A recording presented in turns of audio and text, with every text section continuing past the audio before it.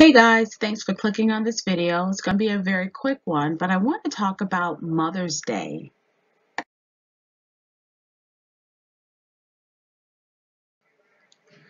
The history of Mother's Day. Now, it was never meant for us to say Happy Mother's Day. It was just meant to be said Mother's Day. So the Mother's Day is a celebration honoring the mother of the family as well as motherhood, maternal bonds, and the influence of mothers in society. It is celebrated on various days in many parts of the world, most commonly in the months of March or May. It complements similar celebrations honoring family members such as Father's Day, Siblings Day, and Grandparents' Day. The modern Mother's Day began in the United States at the initiative of Anne Reeves Jarvis in the early 20th century. This is not directly related to the many traditions celebrated of mothers and motherhood that have existed throughout the world for over thousands of years, such as the Greek cult to Cybele, the Roman festival of Hilaria, or the Christian Mothering Sunday celebration.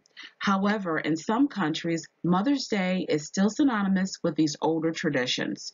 The U.S. derived modern versions of Mother's Day has been criticized for having becoming too much commercialized, which I agree with. Founder Jarvis herself regretted this extravagant commercialism and expressed views on how that was never her intention, as well as her mother's.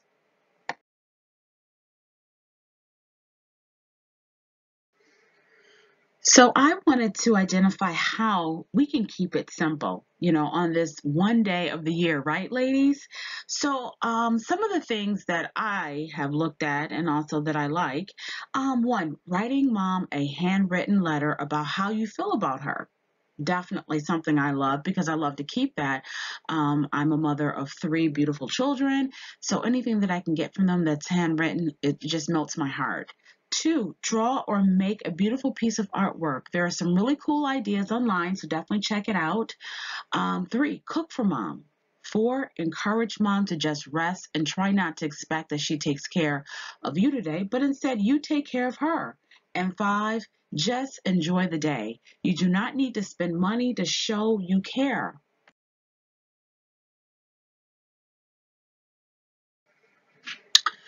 I love this picture that's over here to the left. Oh my gosh. And I love it because it is an original from my little guy.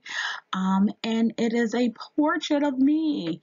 I will always keep this picture for the rest of my life. And that's why handmade items or handwritten notes or letters are so special to me.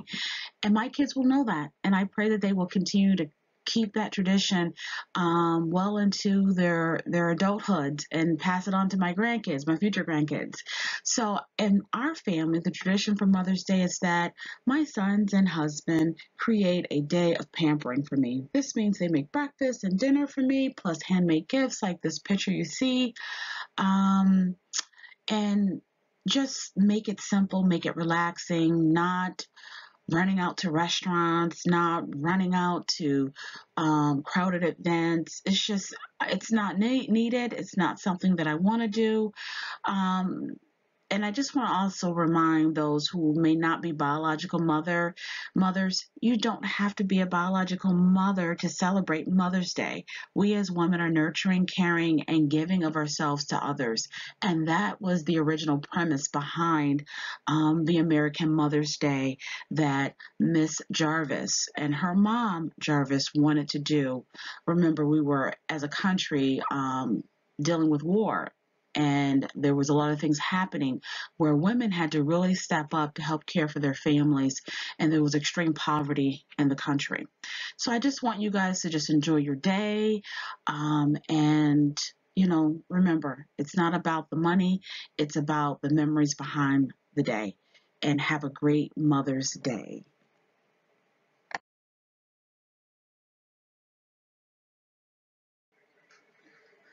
These are just a couple of websites that I use to create this information, um, and I believe in giving credit where credit is due. So please feel free to click on these links to read more about the history of Mother's Day and also to get some really great ideas that are free um, for Mother's Day.